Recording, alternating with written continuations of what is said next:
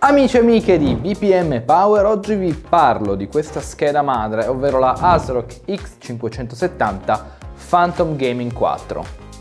Questa particolare motherboard supporta i processori desktop socket AMD M4 Ryzen di serie 2000, 3000, 4000G e persino 5000 con aggiornamento del BIOS.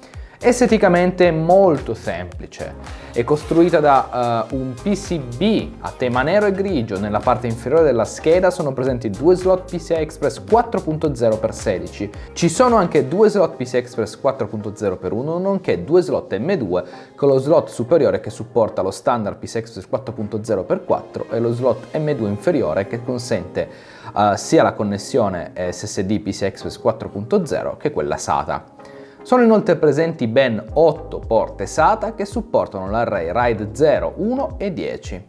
L'ASRock 570 Gaming 4 utilizza un'alimentazione a 10 fasi con un singolo ingresso di alimentazione CPU ATX 12V a 8 pin e include anche il supporto per memoria DDR4 con 4 slot disponibili che arrivano a supportare un massimo di 128 GB di memoria. Il pannello posteriore include due USB 3.1 G2 Type-A 6 porte USB 3.1 G1 Type-A, nonché una coppia di uscite video composta da DisplayPort 1.2 e un'uscita HDMI.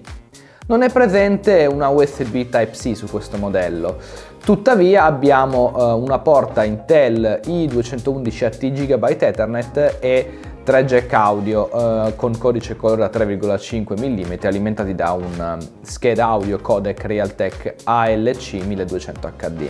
Peccato per l'assenza dell'USB-C.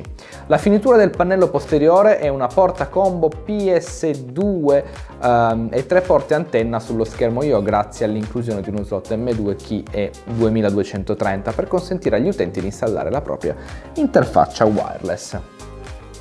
Nel complesso l'Asrock X570 Gaming rappresenta un'opzione più modesta con una porta eh, gigabit Ethernet, un codec Realtek ALC 1200 HD e due slot PCI Express 4.0 lunghezza intera.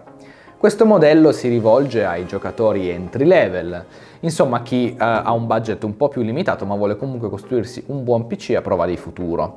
Potete trovare questa scheda madre ASRock X570 Phantom Gaming 4 su bpmpower.com cliccando sul link riportato qui in basso in descrizione. Se non l'avete ancora fatto vi invito a iscrivervi al nostro canale YouTube, mettere mi piace alla pagina Facebook e a seguirci su Instagram. Ciao e al prossimo video!